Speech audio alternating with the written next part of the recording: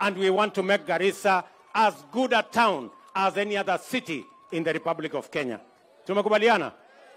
Mambo yenu ya maji nimeongea na viongozi wenu, mambo yenu ya stima nimeongea na viongozi wenu, maneno yetu ya ile mambo ingine yote nimeongea na viongozi wenu, na nimekubaliana na nyinyi two weeks, mambo yenu ya passport itakuwa hapa, na mimi mwenyewe nitakuwa hapa in the next two months, ndio tuweze kupangana vile tutaenda mbele. Mnani- Mnanikaribisha Garissa? Mnasema nitembee Garissa? Nikuje nikienda ama nikuje nikilala? Nikuje nilale hapa siku ngapi? Ati wiki moja? Sasa wewe unafikiri wiki moja?